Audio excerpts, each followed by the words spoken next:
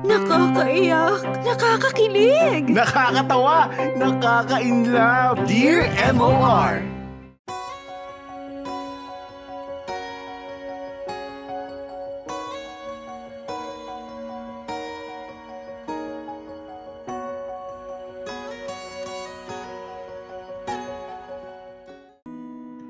Dear MOR, Popoy, may mga tao talagang nakatakdang dumating sa buhay natin na babago sa atin. Magandang tanghali sa iyo, Popoy, at sa buong staff ng Dear MOR. Ako nga pala si Elaine, 27 years old, taga May Kawayan City sa Bulacan. Isa akong bank manager sa isang bangko dito sa BGC. Dati ay tinatsaga pa ang pagbiyahe, biyahe papasok ng trabaho at pag-uwi. Pero noong nagka-pandemic, ay nagdesisyon na nga akong kumuha ng sarili kong condo space para makaiwas na rin sa hassle. Popoy, it's been months noong huli akong nakauwi sa amin. Kahit noong mga panahong maluwag na at pwede na akong bumiyahe pabulakan, ay sinadya ko pa rin hindi na umuwi dahil ayokong magbaka sakali. Hindi ko kasi alam kung baka pag-uwi ko ay may bitbit na pala akong virus. Kaya ito ako ngayon sinusubukang mamuhay ng mag-isa. Popoy, bago ako o bago ang uh, pandemya ay galing ako sa isang uh, hindi kagandahang breakup. Masaya ako sa piling ng aking dating girlfriend na si Francine. Sa lumipas na anim na taon ay wala akong maalalang kahit na anong awayan o hindi pagkakaintindihan na hindi namin nagagawan ng solusyon. Kahit ilang balakid ang dinaanan namin ay naging matatag kami ni Francine. Popoy nag-propose pa nga ako sa kanya at sa sobrang pagmamahal ko kay Francine ay ayaw ko na siyang pakawalan pa. Popoy, she said yes. Punong-puno ako ng saya at ligaya noon, Popoy. Hindi mabilang kung ilang beses akong napapangiti dahil naiisip ko na malapit nang maging isa ang puso namin ni Francine. Magiging asawa ko na siya. Yan ang madalas kong sinasabi sa aking sarili. Maayos naman ang lahat Inaasikaso na namin ang lahat ng dapat gawin para sa aming pagpapakasal. Pero Popoy, sadyang mapaglaro ang kapalaran sa akin. Kinailangan pumunta ni Francine sa Amerika para makasama ang mga magulang niya. Usapan naman namin ni Francine ay after maayos ang papers o ang papers ko ay susunod na ako sa kanya sa Amerika at doon na nga kami magpapakasal. Popoy, lumipas ang halos isang taon ay nalaman ko na lamang na may nakilala na palang iba si Francine sa US. At hindi na nga matutuloy pa ang pinaplano naming kasal. Devastated ako, Popoy. Parang ang bilis kasi magbago ng isip at puso ng tao. Hindi ako makapaniwala. Parang hindi talaga totoo Parang sa mga pelikula ko lang napapanood yung ganoong klase ng eksena. Popoy, imbes na makasama ko si Francine, ay iba ang kanyang piniling samahan. Dear M.O.R. Ang mga kwento ng puso mo. Matagal ang naging recovery period ko, Popoy, nang dahil sa nangyari sa amin ni Francine. Hindi madaling i-let go ang mga taon na magkasama kami. Sa sobrang lungkot ko ay ina-isolate ko ang sarili ko sa mga taong mahalaga sa akin. Mas ginusto ko pa kasi na malunod sa lungkot kaysa ang ipakita ang pagmamukha ko sa kanila. Hiyang-hiya talaga ako sa nangyari. Popoy, hindi ko mahabol si Francine. Natural, nasa Amerika na siya. Ano pang hahabulin ko? Papaano? Sa isip-isip ko, ay magsasayang lang ako ng perang pamasahe para bawiin ang taong iniwanan naman na ako sa ere. Napuno ako ng bitterness, Popoy. Kahit ilang buwan na ang lumipas, ay hirap na hirap akong makarecover. Tulad nga ng nasabi ko kanina, may taong dumating sa buhay ko na bumago sa lahat. Popoy, nakilala ko si Hillary sa isang social dating media app o social dating app. Pinapatry kasi sa akin ng kaibigan ko na makipag-socialize kahit na meron ngang lockdown. Naaliw naman ako, Popoy. Nakakawala ng pagkabagot ang pag-swipe-swipe sa mga taong potentially ay makakamatch mo. At dito ko nga nakamatch si Hillary. Nagsimula kaming mag-usap through the app and eventually ay naging komportable na kami sa isa't isa. At nahingi ko na nga ang social media details niya. Araw-araw kaming magka-chat ni Hillary. Masaya kasi siyang kausap Popoy. Ang aming small talks ay nauwi na nga sa fling at okay lang naman ako dito. Hindi pa kasi ako handa na pumasok sa isa na namang commitment at uh, open din naman si Hillary tungkol dito.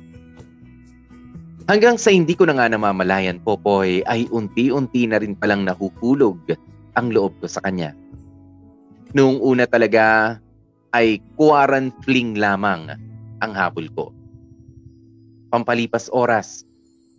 Pero Popoy, hindi na ako nakakatulog pagka hindi ko nakakausap si Hillary. Siya ang source of happiness ko. Ayaw ko lang maramdaman niya na ginagamit ko lang siya para mawala ang lungkot ko Popoy, ano ba ang dapat kong gawin?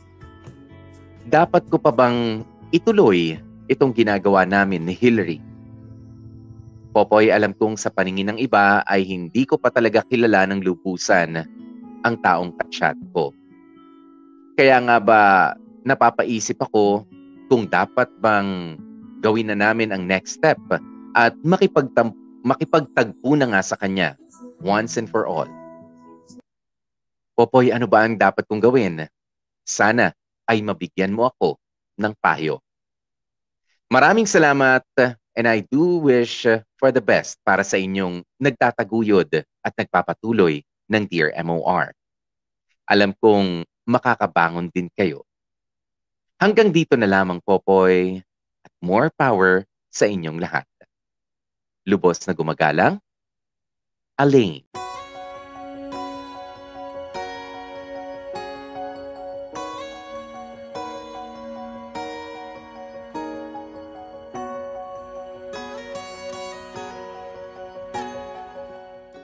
Anyari naman doon. Kawawa naman itong si uh, Alain. Kaya napapatanong siya sa atin ngayon, Alain ba ang dapat niyang gawin uh, nitong si uh, Alain? 'Di ba? At uh, mahirap 'yon ha, yung antagal-tagal mo nang uh, hinintay na kayo ay uh, magpapakasal na lang. O oh, literally kasal na lamang ang uh, kulang pero nagkaroon ng uh, change of heart. Pero ga- gusto ko lang rin tanungin Alain ano bago siguro kami tuman uh, sumagot ng uh, mga kapamilya natin, uh, well, natural, hindi ka rin naman makakasagot agad-agad. Unless bigla kang mag-message sa amin, ano? Paalam nyo nga sa akin kung uh, magme-message agad itong si uh, Alain sa ating uh, private message uh, as follow-up, ano? Dito sa kwento niya. Inalam mo ba kung uh, totoo bang uh, may uh, karelasyon na at talagang uh, uh, itinigil na ang uh, pagpaplano yung pagpapakasal. Kasi ako naman naiisip ko lang ano magandang uh, alamin mo muna. Kasi hindi mo sinabi sa amin kung nakapag-usap ba kayo uh, nitong si uh, Francine. Uh, ng uh, maayos na magpaalamanan uh, man lang ng uh, maayos. Kasi parang it's an open-ended uh, ano no uh, love story yung uh, nangyari. At hindi naman siya mag-boyfriend mag-girlfriend lang na basta nagkaroon na lamang ng uh, panibagong uh, love interest. Hindi, meron na kayong planong uh, pagpapakasal. Ilang taon na rin ang inyong uh, uh, pinuno dito uh, sa uh, Pilipinas nung magkasama pa rin kayo. 'Di ba? Siguro marapat lang ano na kahit papaano ay uh, mangulit. Pero kung talagang uh, uh, uh, final na, 'di ba? Nagkausap kayo, Alain, at malinaw na hindi ka na mahal 'di ba? At ah, hindi ka na pwedeng balikan nitong si Francine. Malinaw na malinaw na 'yon. Eh tama 'yan. Unti-unti mo nang ang ah, tanggapin ang mga pangyayari. Kasi ang hirap na pumasok sa isang panibagong ah, commitment. Alam mo lahat ng ah, bago, lahat ng ah, ah, lalo na kapag ah, may bago kang kakilala ah, at galing ka sa breakup, ah, parang meron tong ano eh no, merong ah, ray of hope Oo, nagpapakita yan ng ah, konting pag-asa at ah, nakapagpasaya sa atin which ah, naturally ah, would excite us. Diba? I-excite tayo niya nung feeling na yan na nagiging masaya ka ulit. Merong nga nagtatanong sa'yo, kumain ka na ba? Kumusta ang umaga mo? Kumusta ba ang ah, ang ah, trabaho mo? Ganyan, nakaka-excite yan, nakakakilig. Oo. Pero ah, alamin mo muna ng ah, malinaw, ano? O, alamin muna ng ah, malinaw ano ba ang nangyari dito kay ah, Francine. Ayan, pero meron nga kasi, oh, meron akong ah, sabi ni ah, Mark, oh, kasi naman nakapunta lang ng US at nakakilala ng gwapong foreigner, ayaw na agad ng jowang Pinoy. Ah, may may mga ganyan. ah. Hindi natin sa ah, sinasabing ah, ah, yung mga pumupunta doon sa US o sa ibang mga bansa ano, eh kumbaga parang ah, dito ang hard to get mo, 'di ba? Sa kapwa mo Pinoy. Pero pagkadating sa ibang lahi, parang saludong-saludo tayo.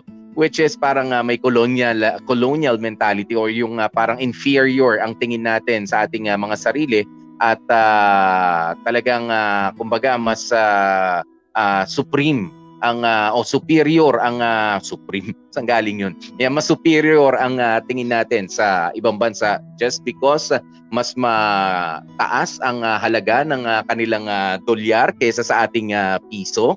'di ba? Wag naman. Oo magkaroon naman din tayo ng respeto doon sa taon ah, sa pinagsamahan at lalong-lalo na nga doon sa pagmamahalan sa iniwan natin dito. Na linawin nyo naman na tapos na ba talaga tayo? Kung tapos na tapos na 'di ba? Hindi yung bag, ah, bigla na lamang kayong ah, mawawala na parang bula. Ah sige na wala na akong pakialam diyan wala naman na akong planong bumalik ng Pilipinas. Okay na yun. Alam niya na yun. Magigets niya na yun. Yes magigets na ng tao yun. Pero iba pa rin yung pagsasabi ng ah, goodbye. At least alam na na goodbye. Wala nang hinihintay. 'di ba? Kapag ka goodbye na that's goodbye. 'di ba? Obviously. Ayan pero kapag ka hinayaan mo lalo na meron kayong pangakuan ng pagpapakasal at uh, kumbaga pararamdam mo na lang na ayoko na nga eh. 'di ba ayoko na nga. Oo eh hindi na nga ako sumasagot sa mga ano mo ganyan. Or pwede rin na maging malinaw dito kay ah, Alain ano? Ah, kasi meron din naman na ah, hindi naman sa sinasabi natin na sa mga magulang. Halimbawa kasi ang pinunta ni Francine ay yung mga magulang. Inalam mo ba na baka ipinipilit na i-partner itong si Francine sa ibang ah, ah, lalaki doon 'di ba? Sa ibang ah, pwedeng ah, maging asawa dahil sa tingin niya mas magiging maganda ang buhay doon, 'di ba? What's Francine's decision?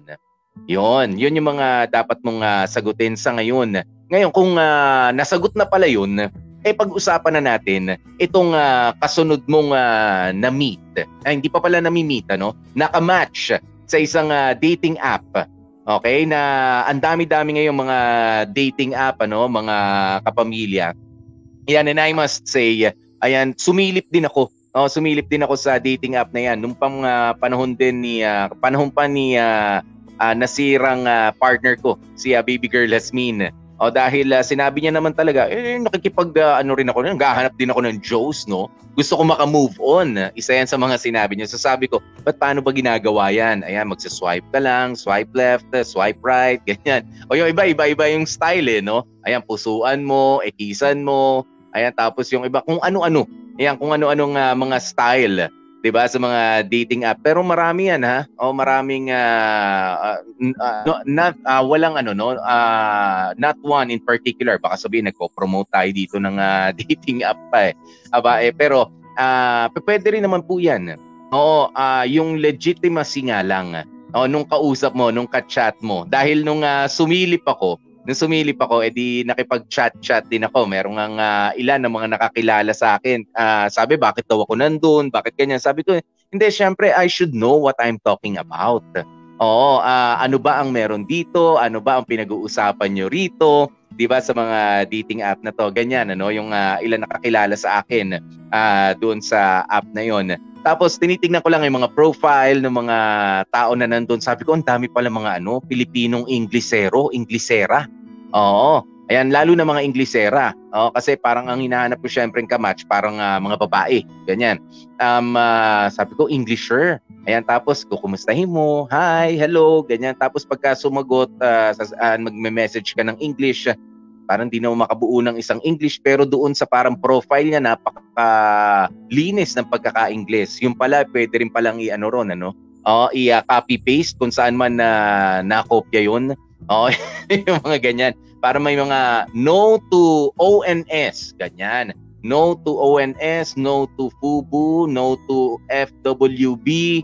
Ganyan, may mga makikita kang ganun. Tapos meron pa yung mga HMU. Ayan, uh, sabi ko, ano pong ibig sabihin ng HMU? Ayan, uh, hit me up. Oh, hit me up pala yung ibig sabihin nun. Akala ko, hook me up. Oo, pwede ka palang ano, no? uh, pwede ka palang uh, ano yan, hook up, hook up, ganyan. No to hook ups, yan, may mga ganyan. Single mom, yun yung mga pwedeng ilagay doon. Ayan, kaya naman ano no, uh, nakakatuwa pero uh, sabi ko nga mga pictures lang naman makikita mo roon, 'di ba? Uh, hindi naman uh, yata pwede mag uh, yung mga recent pictures mag-send ka ng ganyan ano. Uh, pero dun sa tinatanong mo okay na bang uh, uh, puntahan yung next step. Okay sa pakikipag uh, sa pakikipag uh, yung meet up na. Ayan kasi magkaano na kayo no, magka magka-match kayo, magka-chat na kayo. Eh sabi mo para na in love ka na, eh yun ngang ano eh, love at first sight. Ang hirap pa uh, i-explain. 'Di ba? Ang hirap paniwalaan din nung love at first sight. Eh lalo naman na yung uh, love at first chat. 'Di ba? Mas mahirap naman 'yun. O dito kay uh, Hillary, ayan at kay uh, Aline, eh mas maganda. O kung o sa panahon kasi ngayon, o sa panahon ngayon, eh unang-una mahirap talaga makipagkita, mahirap pa ring lumabas. 'Di ba lalabas ka lang talaga uh, kapag uh, kailangan mong uh, may bilhin sa grocery, kapag uh, may, kailangan bumili ng pagkain, ng uh, damit mo o ng mga iba mo pang mga necessities, ano? uh, mga kailangan mo para mabuhay, yun na muna ang uh, atupagin mo. Pero yung uh, pakikipag-meet up, uh, siguro hindi muna. Uh, pero, eh, sabi mo nga na ibigay na rin naman sa iyo mga social media accounts nitong si uh, Hillary. Ayan, so I think uh, yun yung next step na na-achieve mo. 'Di ba? Dahil meron siyang uh, social media. Ayan, siguro may Facebook, siguro may Instagram. O alam mo na legit siya. Pero, 'di ba, personally, hindi pa rin natin alam kasi ang uh, dali-dali lang na uh, mag-grab ng uh, picture, ilagay doon, ayan tapos makikipag-chat sa iyo, making you think na ito yung ka-chat mo, ganito siya kaganda, ganyan, yung pala ibang tao yun. 'Di ba? Na malalaman mo lang kapag ka makikipag-meet na sa iyo. Or hindi pala makikipag-meet talaga sa iyo. Alam mo yung pinapasakay ka lang. Uh, kasi uh, alam mo uh, Elaine, nasa vulnerable ano ka ngayon ano uh, napaka-fragile ng uh, puso mo. Kumbaga nabasag eh. Oh, nawasak yan. Kawawasak lang sa pagkawala ni uh, Francine na ipinagpalit ka ng ganun-ganun na lang sa ibang uh, lalaki sa ibang bansa. Ayan, pero wag na lang wag na lamang natin siyang husgahan. Minahal mo 'yun eh. Minahal mo yung uh, babaeng 'yun. Pero ang importante rito ay uh, nasaktan ka. Yan, and uh, you should take care of your heart. 'Di ba? Kung uh, sakasakali na nai-in love ka na dito kay uh, Hillary. 'Di ba? Kung uh, papaano kayo magkikita, siguro kapag ka safe na. Unang-una kapag ka safe na sa pandemic. Hindi ko sinasabi na uh, para sa inyong dalawa 'yan, ano? Uh, para sa inyong dalawa kasi kung magkikita lang kayo eh kahit nga sa mga malls kahit sa ano hindi natin ini-encourage na yung mag-aasawa, yung magjojowa, magkakaakbay na, magkaka-holding hands, magkaka hindi nga natin i-encourage 'yun eh. Social distancing pa rin kapag ka nasa public place tayo eh. Oh, saan ba kayo magkikita sa public place? Oo, o sa private place mo. 'Di ba? Uh, meron ka ng uh, papapasukin mo ba ang ibang uh, tao sa sa lugar mo na galing sa ibang lugar na hindi natin alam? 'Di ba? Sa panahon ngayon, hindi naman sa sinasabi na wag uh, wag muna, pero ikaw, if you take the necessary precautions at magmi-meet kayo, uh, siguro doon sa safe na lugar unang-una Oo, yung safe sa sa masasamang loob at safe doon sa virus na kumakalat ngayon. O dahil mahirap na ikaw ay uh, madagdagan lamang yung uh, problema, 'di ba? Yung pagiging heartbroken mo ay uh, madagdagan lamang kung sakasakaling uh, magmi-meet kayo tapos uh, magkasakit ka pa uh, o magkasakit pa siya, problema mo pa, cargo de konsensya mo pa 'yon Ayan, pero okay lang rin naman para sa akin just so malaman mo na totoong tao siya. 'Di ba? Na legit siya. O na oo, totoo ito at siya rin ganun din sa'yo na totoo akong humaharap sa iyo. Ayan, tapos ituloy ulit natin sa pagcha-chat muna. For the meantime, ang ating uh, ligawan kung uh, if I decide to make ligaw na ano, uh, 'di ba Alain? Ganun 'yun. Uh, siguro uh, isang beses ba makipagkita ka uh, para lang malaman na totoo siyang tao na hindi nagaga nagagagrab lang ng mga pictures ng uh, kung sino-sino at uh, ipinopost sa kanya mga social media accounts. Uh, dahil meron din mga faker talaga ano, uh, merong uh, mga hindi naman totoo. Ayan, and guard your heart. Uh, huwag ka muna mag-invest ngayon. Dahil ang tao, minsan iba sa chat, minsan iba na in person hindi nga natin alam, meron nga nagsasabi din, yung pinsan ko, tam- ko naman talaga yung kachat mo. O, kasi uh, hindi naman talaga ako. O, siya yung, uh, kumbaga, pinasakay ka. Alam mo yon may mga kwentong ganun eh. Yung kaibigan kong makulit yan, yun yung nak- nakakachat sa'yo, pinilit lang niya makipag-meet up na. Ayan, tapos, uh, o tayo na raw ang uh, bahala kung uh, ipagpapatuloy pa natin ito. Ganyan. O, eh, mahirap Huwag ka munang ma-in-love ng husto. Huwag kang mahulog ng husto muna, ano, Alain, at sa mga katulad ni Alain, sa isang katulad ni Hillary. Ayan. Uh, ito yung oras na pwede ka muna mag-doubt.